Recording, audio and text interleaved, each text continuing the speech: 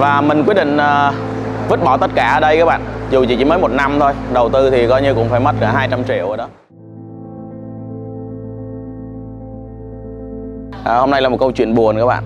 À, các bạn cũng biết là mình làm cái kho vườn lài đây cũng được uh, năm rồi. Cái địa chỉ thì các bạn cũng biết là 114 sạch 19 vườn lài.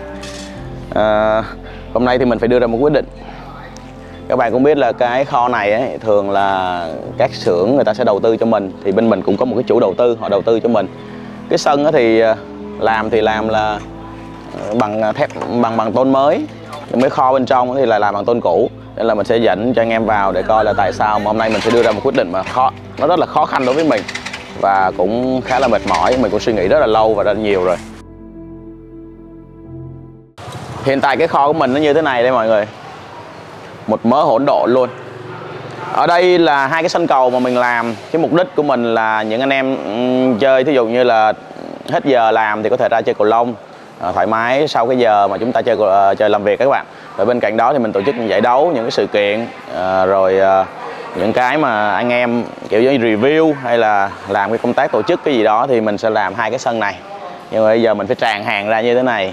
Cái lý do là các bạn thấy cái sợ cái cái cái phần tôn ở đây đó, thì nó mới nó mới hết các bạn ha. À, sau kia thì nó lại là tôn cũ và dẫn đến cái vấn đề là vừa rồi mưa và nó dột. Thì mình cũng yêu cầu khắc phục rất là nhiều lần nhưng mà cũng không được. Cái vấn đề dột thì mình không nói là cái gì đi nhưng mà cái vấn đề này nó còn ác liệt hơn nữa. Mình dẫn anh em vào coi văn phòng. Và đây là cái phần mà văn phòng của mình phía sau này. Ở phía trước này thì các bạn cũng biết là mình làm hai cái sân cầu lông này. Đợt mình giới thiệu cho anh em trên cái video cũ á, là mình phải tốn hết khoảng uh, ờ, 100 triệu tức là hai sân thảm nè rồi cái dàn đèn nè rồi ờ, công tác mà làm nền chống thấm rất là nhiều thứ cho cái việc sân bãi này. À, phía trong này là phần kho nữa mà các bạn thấy rằng cái phần nền của mình này cái sân của mình thì nó cao hơn cái phần nền phía dưới của văn phòng. Và cái kho mình nó cũng như thế thì hầu như là nó cao hơn nó dốc về cái phần bên ờ, bên bên văn phòng của mình. Và đến khi mà dẫn tới một cái câu chuyện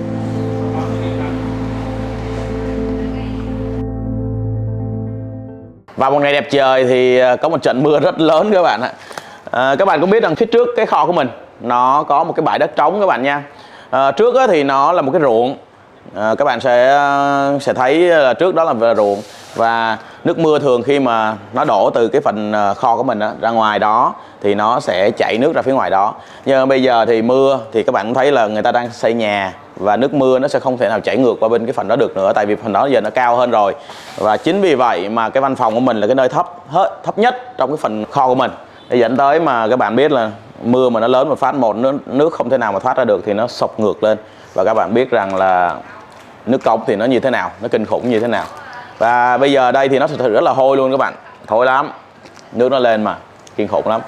Và văn phòng của mình đầu tư cũng phải cả trăm triệu về xây dựng trên dưới luôn, ở trên là khu nghỉ cho nhân viên. Ở dưới này là khu văn phòng, nhưng mà bây giờ nó banh chành hết rồi.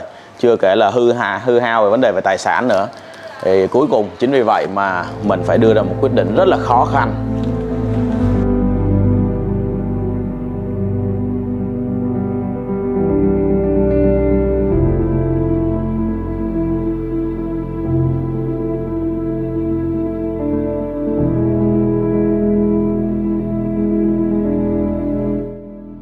Và mình quyết định uh, vứt bỏ tất cả ở đây các bạn. Dù chỉ chỉ mới một năm thôi đầu tư thì coi như cũng phải mất cả 200 triệu rồi đó.